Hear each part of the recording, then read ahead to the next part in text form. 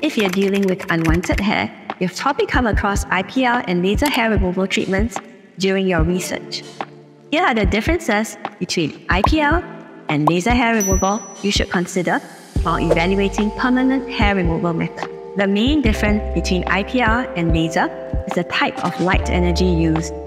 IPL, which is commonly used at beauty salons to remove hair, uses a broad spectrum pulse light to heat up the hair and damage hair follicles.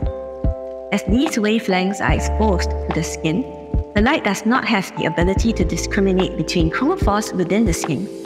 In contrast, medical grade laser hair removal uses a single wavelength of light that is focused straight to the target area without damaging surrounding skin.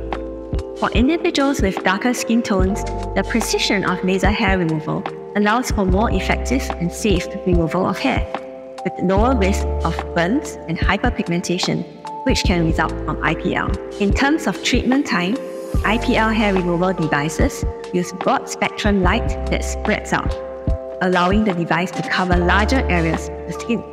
This makes the treatment time of IPL generally faster. However, because IPL is delivered in varying wavelengths and lack precision, it has to be delivered in lower settings to ensure safety. This means that more IPL sessions are required to get the same result as laser hair removal. Both lasers and IPLs can reduce hair permanently. However, it is important to take into account your skin type, hair color, and your personal time schedule when deciding which treatment to opt for. If you have more questions on hair removal, feel free to drop us a message.